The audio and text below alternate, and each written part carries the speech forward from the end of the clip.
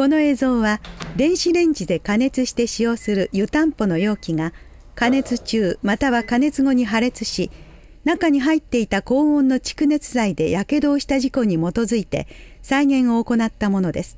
ですねあーでもダメでもなんかもう見てるのが耐えられないぐらいちょっともうはち切れそうです。もういつ破裂してもおかしくなさそうです。今ちょうど6分経ちましたはああーもうボールのようになってます湯たんぽがもうもう湯たんぽじゃない形ですね。これボールのようになってます。あもうもうもう割れてしまいそう。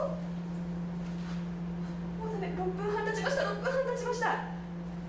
6分40うわもう6分半過ぎたあたりから本体に表示された加熱時間を超えたために約6分30秒後に容器は大きく膨れ上がり破裂しました。